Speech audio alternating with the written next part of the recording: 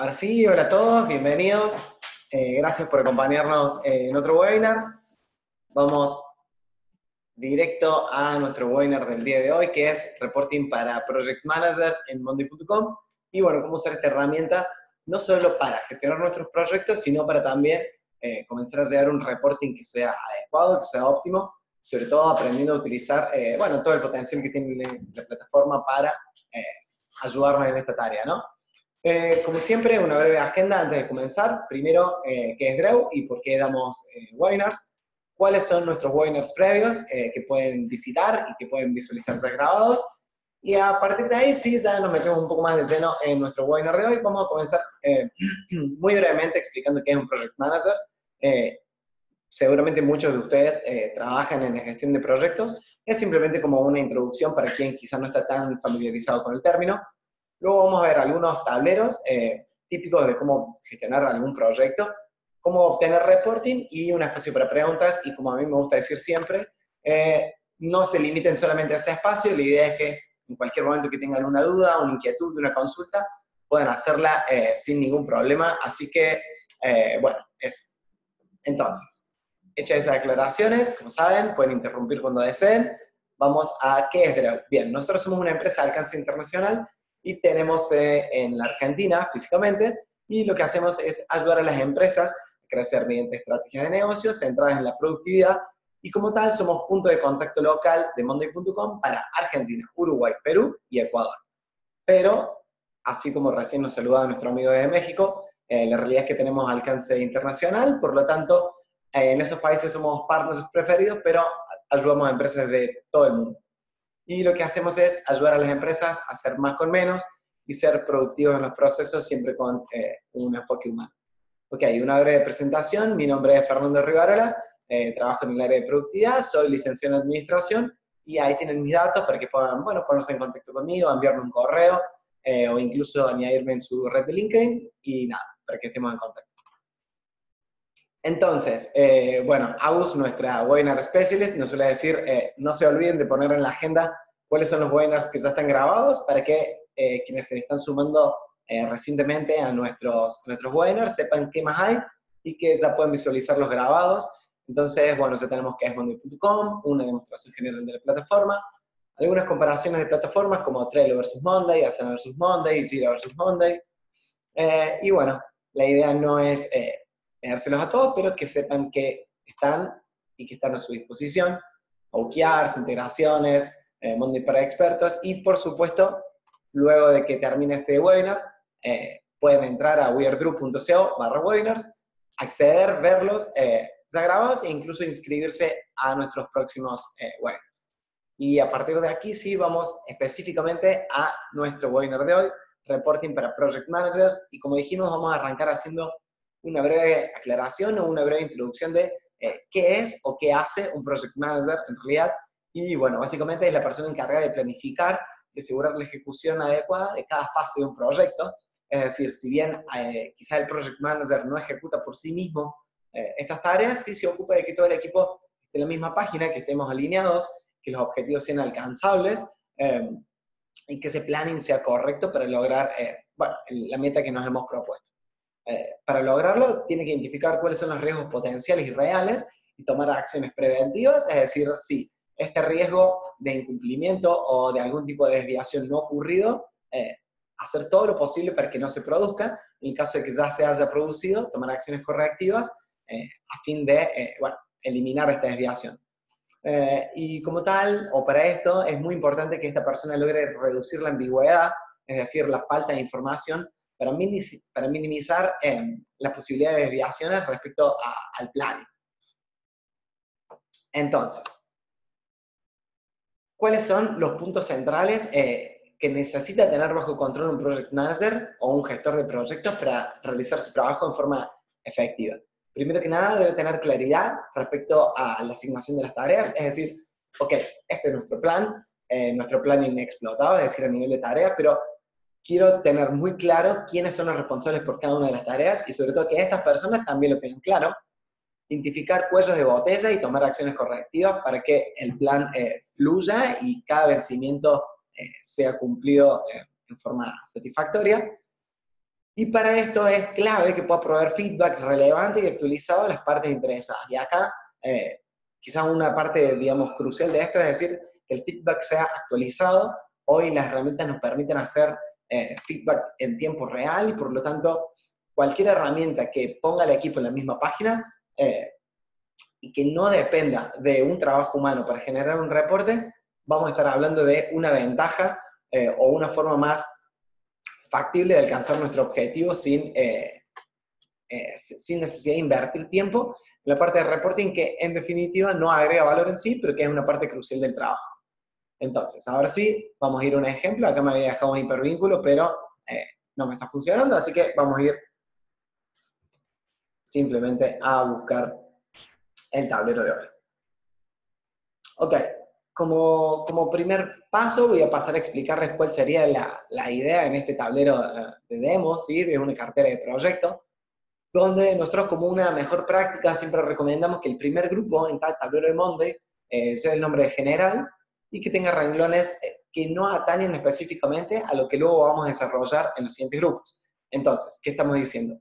El grupo general debería ser llegado para tener conversaciones o comunicaciones que tengan que ver con todos los proyectos o con ninguno en particular y por lo tanto utilizar cada uno de los pulsos como herramienta de comunicación no sea la mejor alternativa, entonces esa información, esa comunicación eh, del equipo debería llevarse en el primer grupo, en el grupo que está eh, ajustado en lo más alto. Entonces, luego este tablero es un tablero bastante sencillo, donde por un lado tenemos, ok, cuáles son los proyectos en curso y cuáles son los proyectos que están en evaluación, es decir, estos proyectos aún no han sido lanzados por la empresa, pero ya los tenemos en nuestro radar. Entonces, eh, bueno, obviamente toda nomenclatura ficticia, proyecto TK, proyecto BFO, y algunas determinadas eh, responsabilidades, como, ok, ¿quién es el líder de este producto? En este caso es el Chavo del 8, aquí es Andrés. ¿Quién es el gerente eh, del área involucrada? Es decir, ok, ¿quién es el, ¿cuál es la área usuaria de este proyecto? ¿Y quién es el líder de esta área? y con qué equipo vamos a trabajar. Entonces, aquí podemos tener asignado el equipo de Dreu, aquí también, o el equipo de soporte técnico, etcétera. Como ya eh, se nos enseñó Andrés en nuestro webinar de la semana pasada, eh, podemos crear nuestros propios equipos a la medida, incluso una persona puede estar en más de un equipo, así que esto no es una limitación. La idea es poder asignar responsabilidades de una manera más ágil y sobre todo eh, teniendo a todas las personas en el mismo lugar, conformando esas células o esas unidades de trabajo típicas de, los proyectos. Entonces, aquí lo que nosotros tenemos es una cartera donde hemos dividido a los distintos proyectos en una primera, segunda y en una tercera etapa, y luego con un semáforo general, es decir, eh, cómo venimos aquí avanzando respecto a la planificación.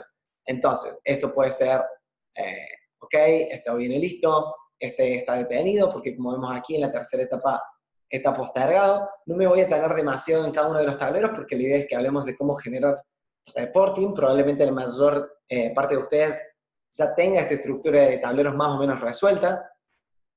Ok, esto está pausado y vamos a ser optimistas, este también está listo. Ok, y luego algunos entregables donde, ok, acá tenemos una primera versión, un producto mínimo viable, un producto final subido desde Google Drive en este caso, y, ok, ¿cuántas horas habíamos planificado invertir en este proyecto? ¿Cuántas horas eh, insumimos en realidad? Una desviación porcentual y una desviación eh, en valor absoluto de horas, eh, que me está indicando, ok, qué también estamos planificando en cada uno de estos proyectos. Obviamente, este nivel de desglose suele no ser suficiente para todo lo que tiene que ver con las tareas y con la parte eh, más operativa y táctica de un proyecto, entonces nosotros siempre decimos, eh, ok, lo, principal es tener un tablero que nos sirva a modo de cartera, donde la información que tenemos es eh, información macro, y luego tener un tablero explotado, como en este caso, donde allá en el tablero anterior, proyecto TK, era solo un renglón, aquí es un tablero en sí mismo, em, y sobre esto, probablemente algunos de ustedes se preguntan, ¿hay forma de asociar la información que yo tengo aquí para que impacte en el otro tablero? Bueno, hay distintas automatizaciones para hacer eso, pero probablemente la automatización más importante que nos va a permitir eh, hacer este, este link en forma automática, eh, bueno, es una excelente noticia de septiembre, está a punto de ser lanzada, que básicamente lo que nos va a permitir hacer es, eh, cuando se cree un nuevo pulso, cuando se crea un nuevo ítem en un tablero, automáticamente linkearlo con otro tablero eh, de la cuenta, lo cual hoy es, se puede hacer, pero bueno, insume eh, algunos segundos de, tarea manual y eso también va a estar resuelto en, en algunos días nada más. Entonces, este tablero es un tablero mucho más operativo, donde el proyecto TK lo estamos dividiendo en cada uno de sus grupos o de etapas de actividades más importantes, asignando responsabilidades, asignando el riesgo que eh, el project manager esté evaluando que tiene esta tarea, cuál es el estado, cuál es la fecha límite, si existen eh, interdependencia entre estas tareas para que este planning se mueva en forma automática, una medición de tiempo a nivel de tarea, ¿sí? Y quién ha sido la última persona en actualizar sobre esta tarea. Bien, entonces, para hacer un breve eh, resumen sobre este tablero, aquí por ejemplo tenemos ideas de desarrollo, luego el plan comercial y de comunicación, una viabilidad financiera y económica, y por último, una validación final del producto, que si esto eh, se encontrase permanente, eh, perdón, se encontrase perfectamente listo, el proyecto estaría culminado, estaría finalizado. Entonces, en relación a lo que estuvimos conversando eh, durante la presentación en PowerPoint, lo que nosotros veíamos es, ok, hay ciertas desviaciones que un project manager tiene que saber controlar o que en realidad que necesita herramientas que lo ayuden a controlar. Entonces vamos a ver qué automatizaciones tenemos acá que le permitirían a un project estar siempre sobre, sobre este proyecto eh, con un poco de ayuda. Entonces, por ejemplo, aquí tenemos una automatización que siete días antes de que llegue eh, la fecha límite de la tarea, si el estado no es listo, notificaría al project, que en este caso yo me he asignado a mí mismo, eh, lo notificaría a Fernando. Luego, si llega la fecha, es decir, eh, acá tenemos un control preventivo y acá ya deberíamos tomar acciones correctivas.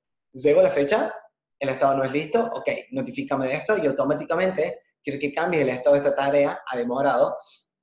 Y por otro lado, eh, esto puede implicar que tengamos que asignar una mayor cantidad de recursos. Entonces, si yo cambio la prioridad de una determinada tarea eh, para que mi equipo se concentre acá, eh, quiero que todos los responsables de esta tarea sean notificados en forma automática para que esta tarea tenga prioridad y se resuelva antes.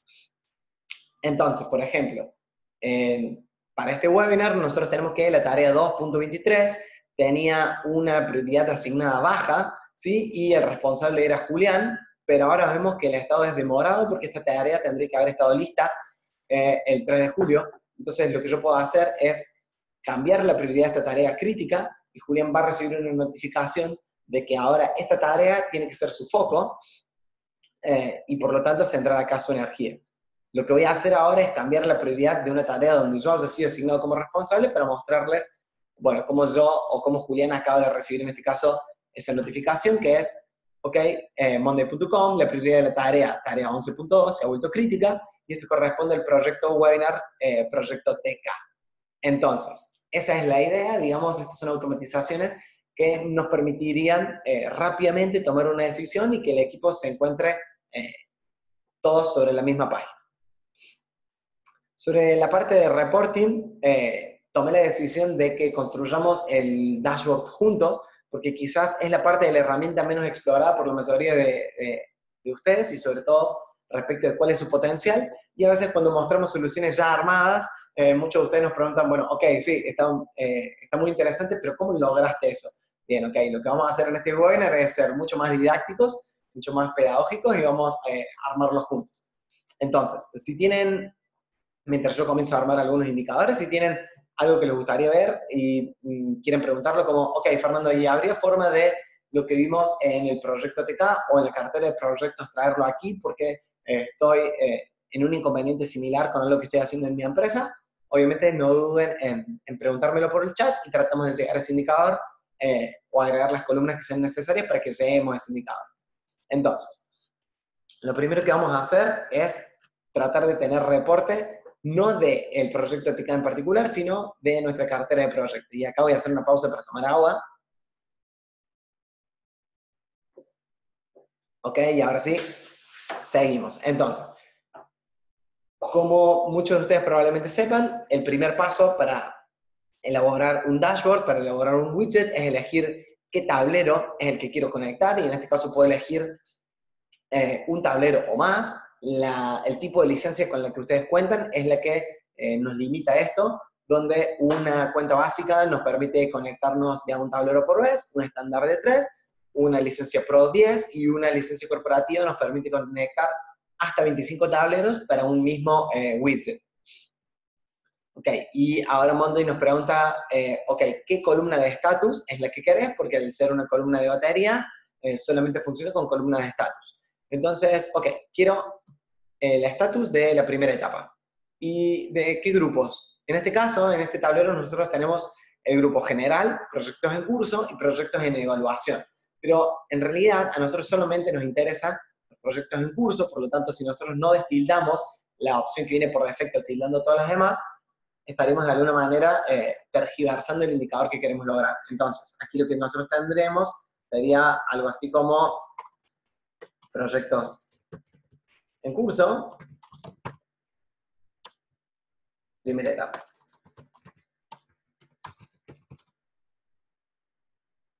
Ok, y lo agregamos. Y aquí una, eh, una mejor práctica para que puedan construir sus tableros más rápidos. Vamos a más opciones, lo duplico y lo vuelvo a duplicar porque ahora lo que nosotros vamos a hacer es simplemente cambiar la columna escogida, entonces ya no quiero aquí la primera etapa, quiero la segunda, pero el resto del widget es igual, entonces segunda, y acá vamos a hacer lo mismo,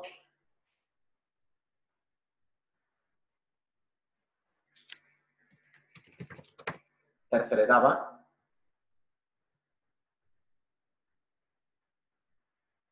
Ok, entonces, ya tenemos nuestros primeros indicadores, que es a nivel visual, tener en qué estado se encuentra nuestra cartera en cuanto a las fases, y luego podemos acá traer un indicador un poco más global, ¿sí? Donde, ok, vamos a cartera,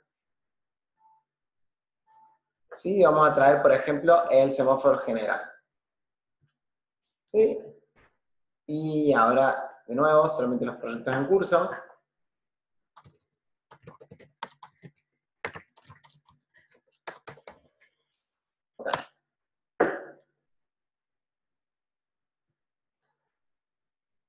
Entonces, como este widget es un poco más eh, importante, lo podemos agrandar. Este Dan también lo podemos modificar. Y ahora lo que vamos a hacer es ir a nuestra cartera de proyecto y ver, ok, ¿qué información sería clave traer acá? Entonces, otra de las cosas que nosotros podemos hacer es tener el estado general, pero ya no quiero ver el estado general de todos los proyectos, sino que eh, quiero comenzar a analizar un poco más fino respecto de cómo se relaciona el estatus respecto del el líder de cada uno de estos proyectos. Entonces, voy a My Dashboard, que es en el dashboard que estamos trabajando hasta recién,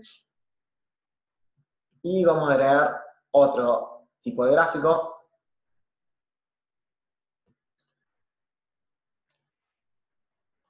Sí, vamos a buscar un gráfico de líneas. Bien, acá una parte importante respecto de eh, los widgets un poco más complejos, que son eh, sobre todo los widgets eh, de, de gráfico. Tenemos dos partes que son clave es, por un lado, qué es el eje X y por qué vamos a estar ponderando o qué es el eje Y en el caso de los gráficos de barra y gráficos de línea. Entonces, en, en, la primera instancia tenemos que decidir cuál va a ser nuestro eje X. En este caso, está escogiendo por defecto eh, la columna de estatus, pero primero el tipo de columna y luego tenemos que decir cuál. Entonces, en este caso, nosotros queremos ver eh, el estado general o el semáforo general,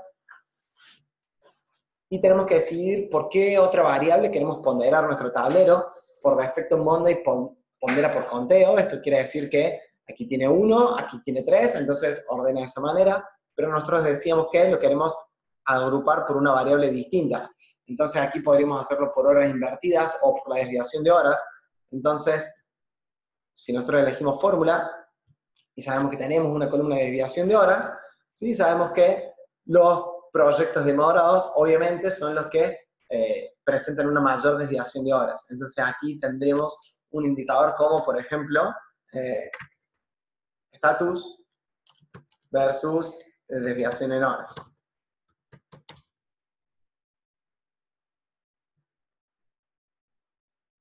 Ok, entonces, si yo, como decía recién, quiero comenzar a asociar esto al líder del proyecto o al project manager que está eh, llevando cada uno de estos proyectos, es interesante comenzar a utilizar la herramienta de filtros. ¿sí? Todos los widgets eh, tienen este apartado que lo encuentran en estas líneas que básicamente me permiten hacer lo siguiente. ¿sí? Yo puedo filtrar por casi cualquier contenido ¿sí? que esté dentro de la tabla.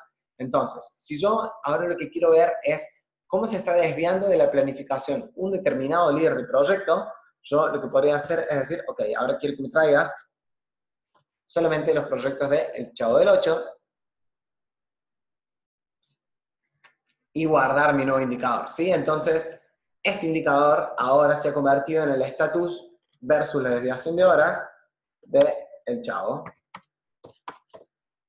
del 8 y obviamente podría duplicar este widget, cambiar el filtro y tener uno de estos indicadores para cada uno de mis líderes o para cada uno de mis project managers. ¿sí? Entonces, rápidamente,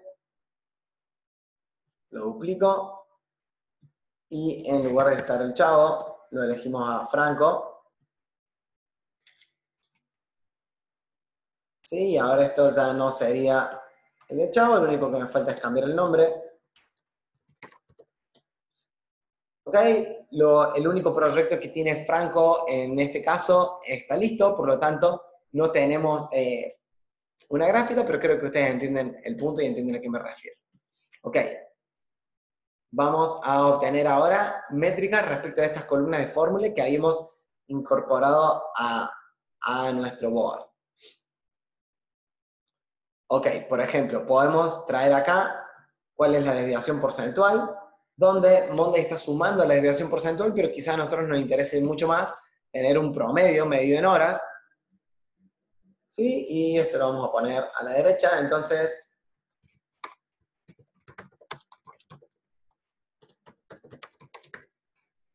Promedio del desvío en horas. Ok. ¿Sí? Y como decimos recién, este es nuestro promedio de desvíos en general, pero si lo duplicamos, podemos ser un poco más finos. Achicamos este widget. Y filtramos. ¿sí? Quiero eh, ver qué tan bien presupuesta sus tiempos Andrés o el responsable de alguna tarea. ¿ok? En este caso nosotros tenemos dos personas que se llaman Andrés, debería filtrar por apellido. ¿Ok? Entonces, bien, el promedio de los equipos de desviación en horas es que están un 30% por encima de las horas que hemos planificado respecto de sus horas reales, ¿sí? Es decir, estamos insumiendo más horas de las que hemos pactado. Pero en este caso, eh, los andreses, ¿sí? Son un poco más efectivos eh, y su desviación está solamente un 8% por encima, por lo tanto podríamos decir que eh, son mejores planificando o son mejores ejecutando que la media, porque estos proyectos están, bueno, marchando un poquito mejor, ¿verdad? Vamos a ver qué otro auto podría ser relevante traer desde nuestra cartera.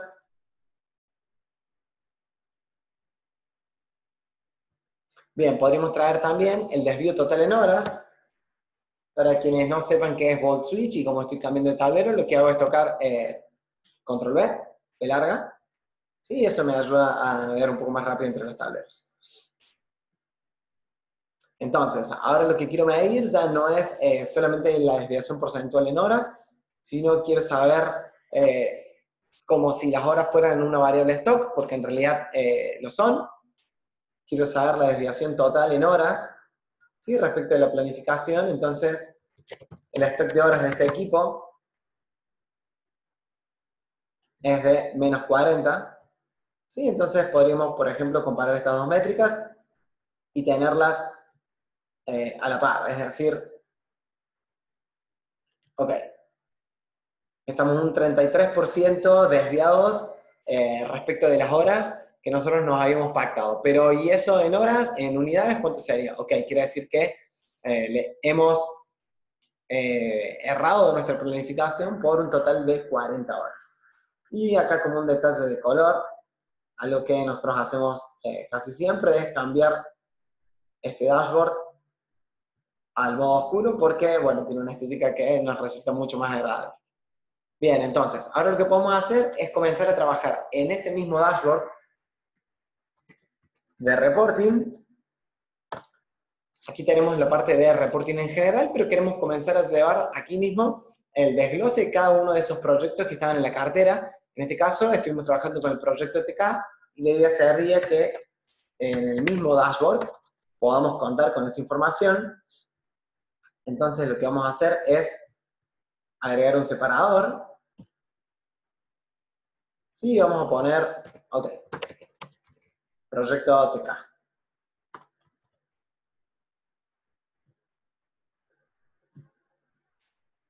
Ok, los separadores de texto, básicamente eh, nosotros los usamos muchísimo para esto. Eh, recuerden que cada uno de los dashboards eh, puede almacenar hasta 30 widgets, entonces la idea es que la información se nos puede comenzar a mezclar, pero si utilizamos separadores, bueno, se vuelve todavía más intuitivo, más intuitivo y visual. Entonces, lo que vamos a hacer es, antes de comenzar a agregar indicadores, vamos a ver cuáles son las columnas que nosotros tenemos acá y que podrían ser relevantes para nosotros traer. Ok, por ejemplo, aquí lo que nosotros estamos haciendo es asignar un riesgo de una manera eh, bastante intuitiva, es decir, eh, del 1 al 5 con estrellas. Entonces, eh, determinadas personas del equipo podrían tener potestad de, de modificar esta columna, pero luego nosotros aquí queremos llevarnos esto como un indicador. Entonces, lo que tenemos es una columna donde tenemos, ok, esto es el riesgo de incumplimiento, pero lo quiero en valor porcentual. Entonces, Monday lo que hace es tomar la cantidad de estrellas, en este caso, que son 3, lo multiplica por 2 y sacamos el valor porcentual eh, para llegar a un valor que sea mucho más representativo. En lugar de un 3, esto también puede ser un 60%. Ok, entonces, este riesgo, este riesgo cuantificable lo vamos a querer llevar a nuestro dashboard. Luego, ¿cuál es la prioridad en la que se encuentran cada uno de los grupos de tareas? También es eh, crucial para entender si debemos asignar más o menos recursos y lo que podemos hacer es tener juntos cuál es la prioridad eh, general de las tareas del grupo de ideas en desarrollo y en qué estatus se encuentran eh, para tratar de entender si en, este grupo de actividades necesitamos asignar más recursos o si todo debería marchar eh, adecuadamente. Luego podemos llevarnos un reporting de las horas invertidas y bueno, eso serían, digamos, como a priori los indicadores más importantes que podríamos sacar de aquí.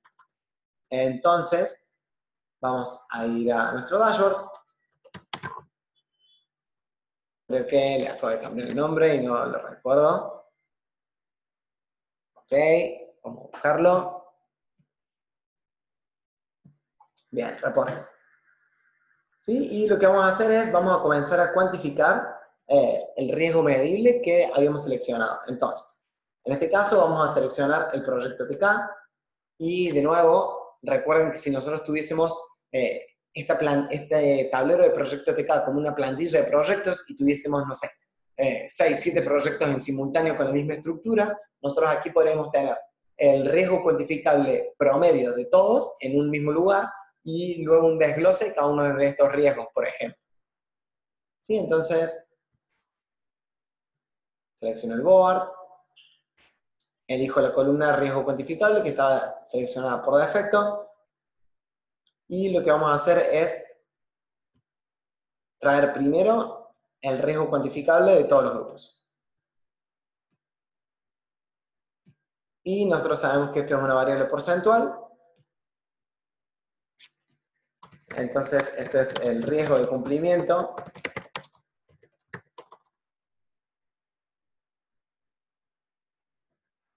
en promedio general.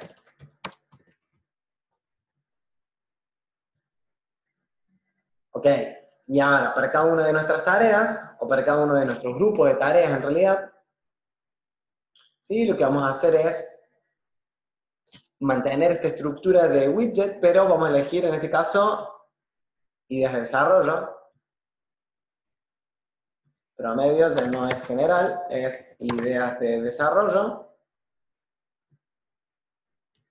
Sí, vemos que este, este widget en particular, o en realidad este indicador es más alto eh, que el promedio. Sí, entonces, ok, quizás ahora sea interesante cruzar esta variable con eh, la variable que analizábamos recién respecto de la prioridad que tienen o la que le estamos asignando a estas tareas. ¿Sí? Entonces, prioridad, pero solamente vamos a querer ver de las ideas en desarrollo. Ok. Y en este caso vamos a seleccionar que este 0%, ¿sí? como está reflejando el verde, que en este caso es la prioridad baja, ¿sí? estamos diciendo que no tenemos tareas con prioridad baja. Eh, y acá tenemos la prioridad. Ah, borro el título y ahora no estoy pudiendo eh, modificarlo. Pero bien, ahí la idea, lo que estamos tratando de, cruzar es decir, eh, ok, este es el riesgo de incumplimiento que tienen estas tareas, esta es la prioridad que le hemos asignado. Entonces, si nosotros aquí identificásemos que la prioridad dada a las tareas es demasiado baja, quizás sería una oportunidad para eh, mejorar o, de alguna manera asignar una prioridad más alta eh, para tratar de reducir este riesgo de incumplimiento a través de asignar más recursos humanos eh, a esta tarea en particular. Y por otro lado, habíamos dicho de incorporar otro widget más, que es respecto del estatus en el que se encuentran estas tareas de este grupo de tareas en particular. Entonces esa no es la prioridad, sino es el estatus de ideas en desarrollo.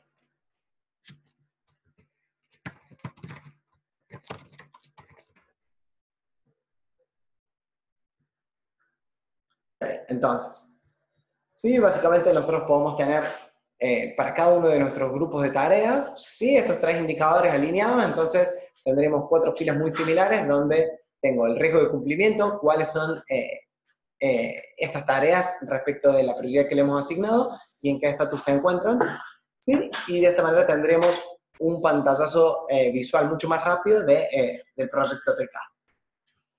Volvemos entonces a nuestro proyecto. No sé si alguien tiene alguna duda. Obviamente no duden en preguntar valga la redundancia. Sí, entonces lo siguiente que dijimos es que podemos llevar el tiempo invertido por cada una de las tareas. Eh, ok, vamos a reporting.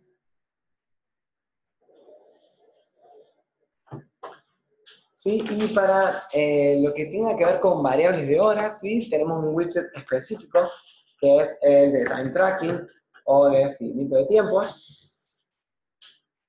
¿Sí? Entonces, ok, vamos a traer acá Proyecto TK y quiero saber cuántas horas estamos invirtiendo para cada uno de los grupos de tareas. Entonces, esto es horas invertidas.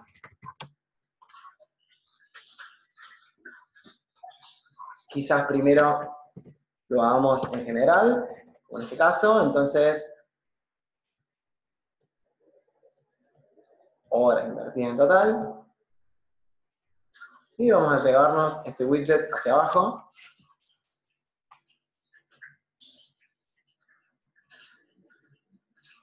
Y con una lógica similar a la que manejábamos recién, primero vamos a tener un indicador macro del tablero y luego un desglose para cada una de las fases. Nosotros aquí también, en nuestro eh, seguimiento de tiempo, podemos setear cuál es el límite de horas que hemos eh, designado para cada uno de, nuestros colaboradores o de nuestros miembros del equipo. Eh, y esto nos ayuda a tener una idea más visual respecto de si ya nos hemos excedido o no. ¿Sí? Entonces, por ejemplo, si nosotros ponemos que el límite es de, no sé, 700 horas y que por encima de eso lo queremos ver en rojo, ¿sí? nosotros sabríamos que, ok, Andrés, Fernando y Tomás están por encima de las horas planificadas y el resto del equipo, ok, todavía están dentro de las horas que habíamos estipulado para el proyecto. Entonces, duplicamos el widget con una lógica similar y ahora comenzamos a medir horas por grupos de tareas. ¿Cómo hacemos esto? Elegimos un grupo en particular. ¿Sí? En este caso, ideas en desarrollo.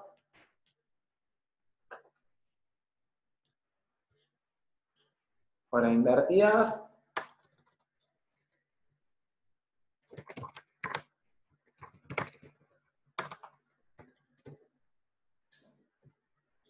Ok.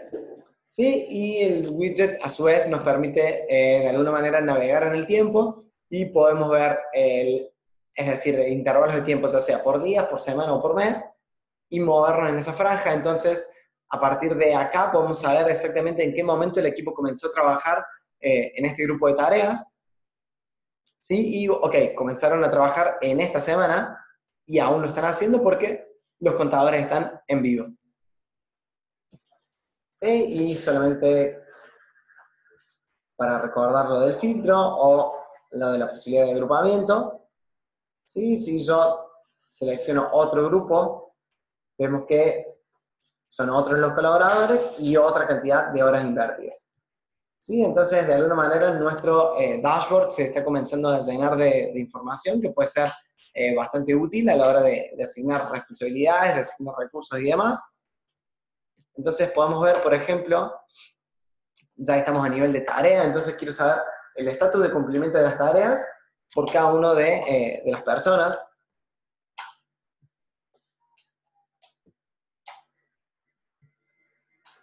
¿Sí? Entonces, en mi eje X quiero a cada uno de los responsables de tareas.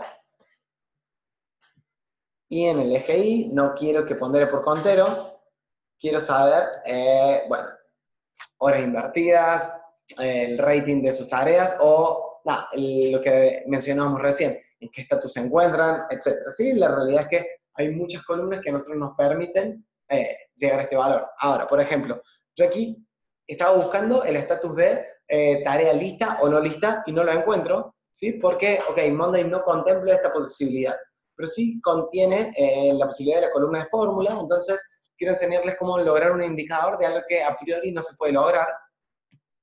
¿Sí? Lo que vamos a hacer es, vamos a dejar este gráfico acá y vamos a irnos un segundo al proyecto. ¿Ok? Eddie me por correo. Vamos a cerrar eso. Y lo que vamos a hacer es añadir una columna de fórmula. ¿Sí? Tal cual como lo estábamos viendo recién en el widget y vamos a utilizar la funcionalidad eh, condicional, es decir, la funcionalidad if. Ok. Entonces, lo que nosotros decimos es, si el estatus de la tarea es igual a listo, entonces quiero un 1, si no, perdón, y si no, quiero un 0. ¿Sí? Entonces, este indicador, le vamos a cambiar el nombre de la columna por indicador de estatus.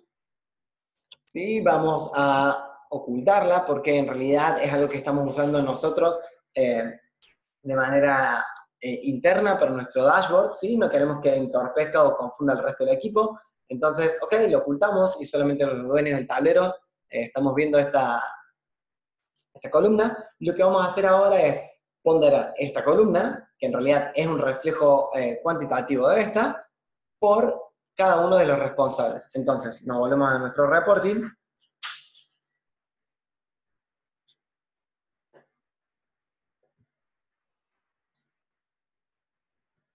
Y vamos a cambiar los settings de, este gráfico.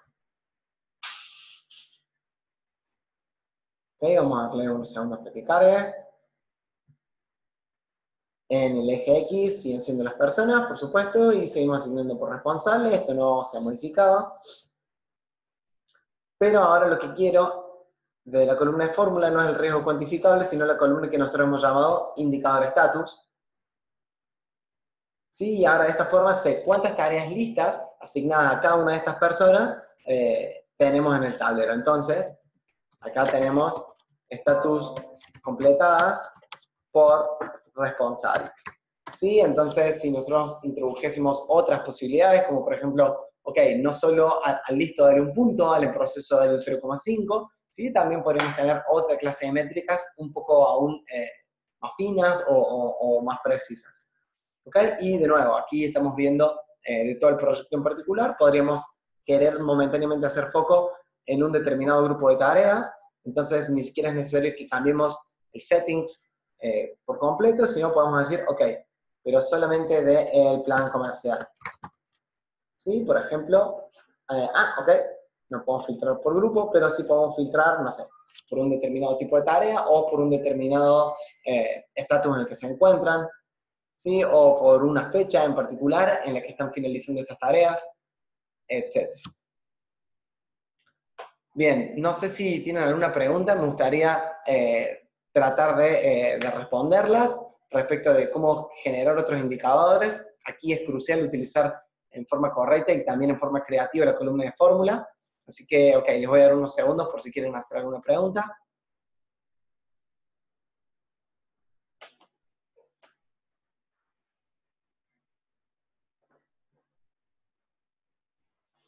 Ok, no sé si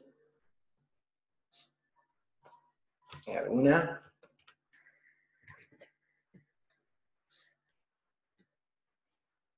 Y si no, voy a, ok, voy a buscar darles otro ejemplo de la fórmula.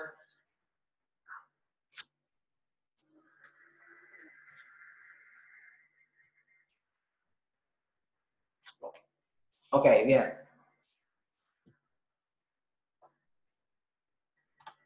En el caso de que no tengan demasiadas preguntas, mi idea sería invitarnos a que si aún no tienen una cuenta gratuita, eh, accedan a creársela eh, con, una dirección eh, con una dirección web muy parecida donde pueden encontrar nuestros webinars, es decir, weirdrew.co eh, barra cuenta o barra webinar, ¿sí? ahí también van a encontrar un montón de otros recursos. Fernando desde Uruguay nos saluda, ok, y Alan me dice otro ejemplo de fórmulas para indicadores, porfa. dale Alan, vamos a, vamos a mostrarte algún otro ejemplo. A ver. En este momento no se viene nada a la mente, pero vamos a ver qué podemos eh, hacer, por ejemplo. Eh, podemos, ok, podemos sacar un valor promedio de prioridades para no verlo en forma eh, visual, sino quiero tener un conteo de esto. Entonces, me olvido que estoy utilizando la versión en inglés. Entonces, cuando ingreso la tilde, no la encuentro. ¿sí? Entonces, podemos decir, ok, ¿sí? La prioridad es igual a crítica, ¿sí? Dame un 3.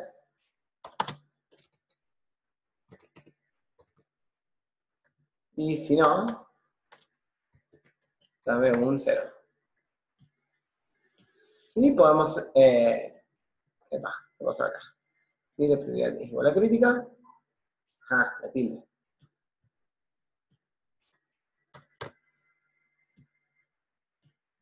Entonces nosotros también podríamos de aquí tomar eh, más valores, es decir, nosotros aquí tenemos baja, moderada y crítica, y lo que podemos hacer es eh, hacer 100 y dados, entonces decir si esto es eh, crítico, dame 3, y luego aquí si no, incluir otro if, ¿sí? Entonces decir, ok, en lugar de si es crítico, dame un 3. Si no es crítico, todavía podría ser bajo, moderado. Entonces, también, al igual que en Excel, podemos hacer, ok, si no es esto, entonces, si es baja, creo que había puesto de esta manera, dame un 2, o en este caso un 0. Y si no, dame un 1. Y creo que acá me faltaría un paréntesis. Ok, entonces, ¿qué estamos haciendo nosotros? Estamos diciéndole eh, con una fórmula si la prioridad es si la prioridad es crítica, quiero un 3. Si la prioridad es moderada, quiero un 1. Y si la prioridad es baja, quiero un 0. Entonces, de este valor que nosotros lo que estamos haciendo es eh, tomando una evaluación plenamente cualitativa, la estamos tratando de cuantificar y esto nosotros luego lo podríamos multiplicar, por ejemplo, por el riesgo. Entonces, acá tenemos la prioridad, ¿sí? y luego podríamos añadir otra columna más,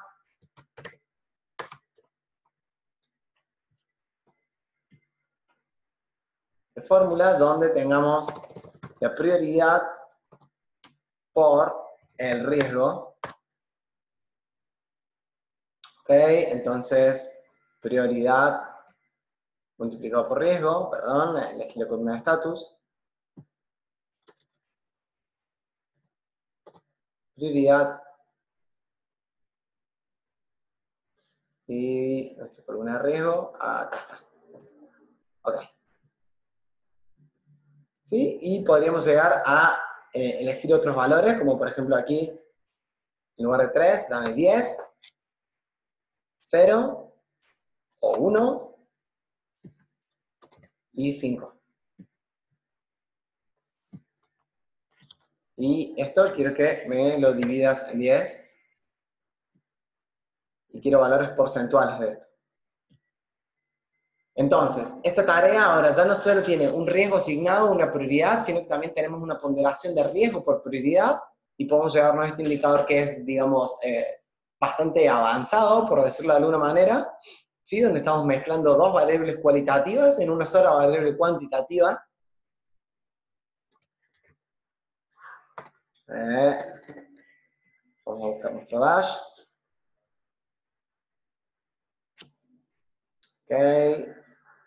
Cambié el nombre y ahora no lo recuerdo una vez más. Qué extraño. Reporting, creo que se llamaba. ¿Alguien se acuerda cómo se llamaba mi dashboard?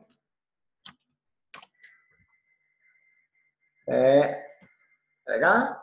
No importa que no sea este, sino la idea es que podamos llevarnos ese valor que acabamos de traer en una fórmula a una columna de widget de número. A ver, a ver.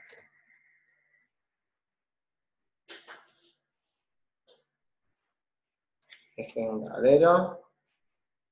Ah, estaba tratando de hacer memoria. Ok. ¿Sí? Lo que vamos a hacer es, vamos a ir a buscar este indicador que acabamos de construir con una columna de fórmula. ¿Sí? Que es prioridad por riesgo. Esto queremos un promedio.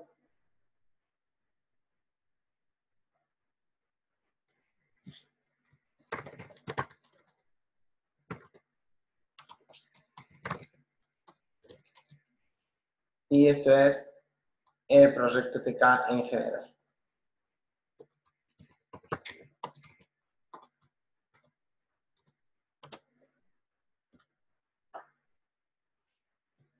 Ok, nos quedamos mezclados dentro de eh, un dashboard que no está muy relacionado, pero estaba casi seguro que nuestro dashboard en el que estuvimos trabajando eh, durante hoy se llamaba reporte, pero ahora no lo estoy encontrando, así que nada, imagino que eh, estoy confundido de nombre.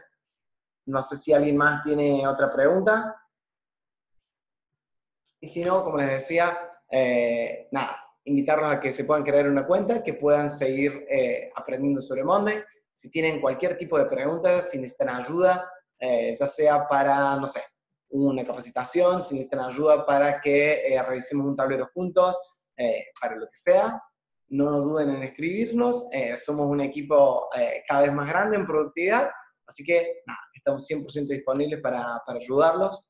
Eh, les dejo unos segundos más cuáles son mis datos para que si quieren me escriban un correo, mañana en el LinkedIn, estemos en contacto y poder ayudarlos. para mí siempre va a ser un gusto. quiero invitarlos a nuestro próximo webinar de la semana que viene. Creo que la semana que viene también me toca a mí, así que como siempre es un gusto tenerlos con nosotros. Eh, les agradecemos muchísimo por, por el apoyo, eh, también por los comentarios que nos dejan en las redes, en YouTube, eh, nuestro Instagram. Así que espero que hayan disfrutado del webinar, que les haya servido para aprender y si tienen cualquier duda, ya saben, no duden en escribirnos. les mando un saludo grande para todos y hasta pronto.